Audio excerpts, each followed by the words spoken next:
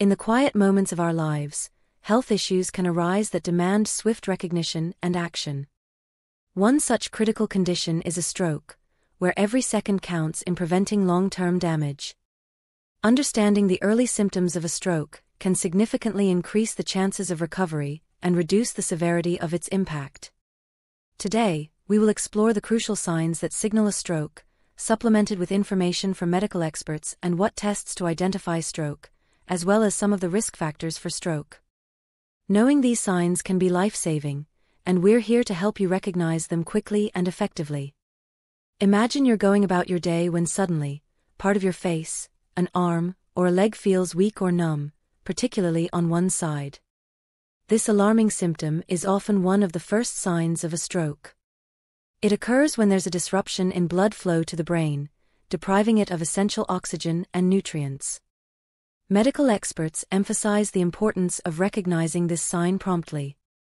Neurologists in our interviews explain the brain's role in muscle control and sensation, linking it directly to the physical weaknesses.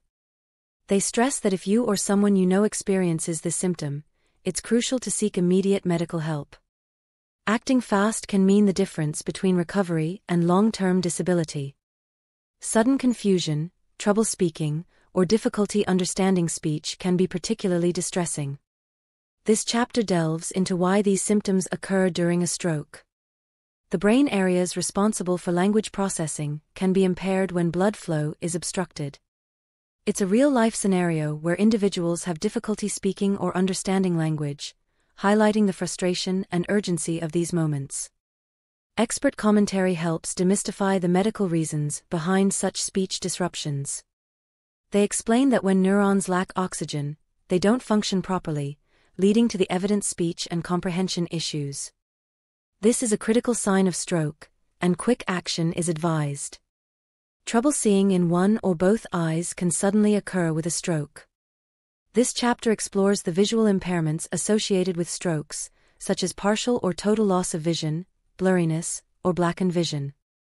Through detailed visuals, we explain how strokes can affect the visual pathways in the brain.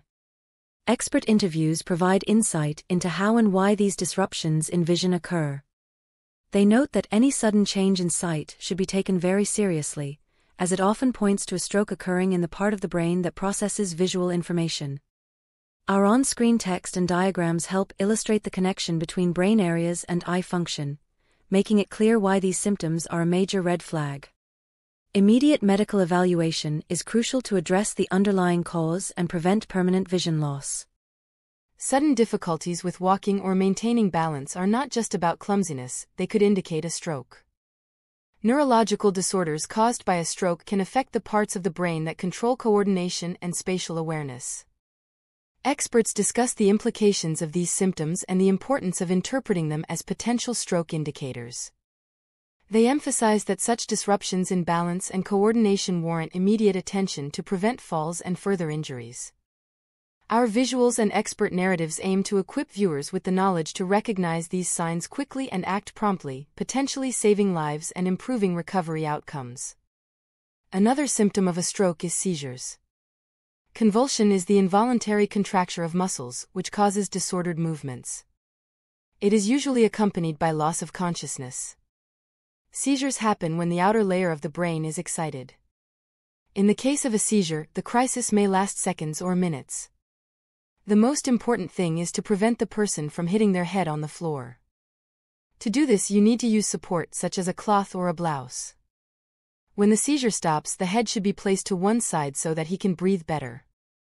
Let's talk now about the sudden tingling. Sudden tingling in peripheral regions of the body, such as hands, arms, feet, legs, and face, is one of the first signs that something is wrong. In most cases, this only occurs on one side of the body. The senses were also altered, especially touch and vision. This could be a sign of a stroke. Another symptom is memory loss. Memory problems are other signs that may appear in an individual who is suspected of having a stroke. The degree of loss varies according to the situation and the region the accident affected. However, it is interesting to ask about recent events, such as those that occurred on the same day, for example, what you ate for lunch, or about past events such as the birth of a child, wedding, among other important dates that the person easily remembered previously to assess their memory. Another symptom associated with stroke is facial asymmetry. It is a symptom that can occur characterized by one side of the face having more restricted movements, especially in the lower part of the face. The mouth generally deviates, falling slightly. The tongue is another area that undergoes changes in movement. To assess whether this sign is present, ask the person to make movements such as smiling, sticking out their tongue, moving it from side to side and making faces. If any abnormality is identified, it is necessary to seek medical attention. Types of stroke. There are two classifications of stroke, hemorrhagic and ischemic. In the first, the accident is caused by the rupture of an artery or vein, resulting in local or diffuse bleeding that can cause hematoma, increased intracranial pressure and brain swelling. The latter is caused by the clogging of one or more arteries, which interrupts blood flow in some regions of the brain and interferes with neurological functions. The main causes of ischemic stroke are thrombosis and embolism. Ischemic stroke is the most common type, it represents 85% of cases and is normally associated with high cholesterol, diabetes, high blood pressure, arteriosclerosis and smoking. Now let's take a look at the exams or tests to determine stroke and what the risk factors are. Physical examination The initial step in identifying a stroke is typically a physical examination. The physician will examine your nervous system neurologically, check your blood pressure, and listen to your heart. Imaging testing Imaging tests, like a CT scan or MRI, are used to identify the type and location of a stroke and confirm the diagnosis. Additionally, these tests can assist by ruling out other potential explanations of your symptoms, such as a brain tumor or a drug reaction. Blood tests Blood tests aid in eliminating other possible causes of symptoms and reveal stroke risk factors like high cholesterol and blood sugar levels. The FAST and B-FAST tests, these examinations reveal stroke signs and assist in determining whether a stroke is occurring. While BFAST stands for balance lost, eyesight loss, face drooping, arm weakness, speech difficulty, and time to call, FAST stands for face drooping, arm weakness, speech difficulty, and time to call. Cerebral angiography detects blockages or constrictions in the blood vessels that may be the source of a stroke in the brain. Here are some of the risk factors for stroke. High blood pressure stands as the primary risk factor for stroke. It might deteriorate the blood vessels responsible for blood flow to the brain, leading to a brain blood clot that results in a stroke. Heart disease is the second most significant stroke risk factor and the leading cause of death among stroke survivors. Smoking, the risk of an ischemic stroke is increased by smoking. It causes blood clots in the brain and harms blood vessels. Physical inactivity, the second largest risk factor for stroke is not getting enough exercise. It may result in high cholesterol, diabetes, and high blood pressure. Genetics or heredity, people with a family history of stroke are more likely to develop the condition. The importance of managing risk factors associated with stroke. Managing risk factors for stroke is crucial in preventing the onset of stroke through Stroke prevention involves controlling risk factors like high blood pressure, obesity, inactivity, a poor diet, alcohol use, and inheritance. Reducing the severity of stroke, even if a person has a stroke, controlling risk factors can help lessen its effects and increase recovery prospects. For instance, managing high blood pressure can lower the risk of repeated strokes and prevent additional damage to brain blood vessels. Improved general health, adopting healthier habits like quitting smoking, a balanced diet, and regular exercise can reduce stroke risk. Blood clot in brain treatment. Depending on the type of stroke, doctors may prescribe aspirin or potent clot busting medications. The procedure is best. When you take this drug within three hours of the onset of your symptoms, it works well. If a ruptured blood vessel causes the stroke, medical professionals will work to stop the bleeding as soon as possible. Recognizing these symptoms early and acting quickly can dramatically improve your chances of recovery and reduce your risk of serious complications. If you or someone you know experiences any of these symptoms, it is essential to seek immediate medical attention. Remember, in the face of a stroke, time is brain. Every minute counts. Now let's delve into the subject of heart health's most formidable adversary. There's a particular food that wreaks havoc on our hearts more than any other. You're probably thinking, it's got to be sugar, or surely it's those nasty saturated fats. But you might be in for a surprise. For many, sugar has been the prime suspect. It's been accused of causing insulin spikes, leading to inflammation and eventually heart disease. However, the reality is a bit more nuanced.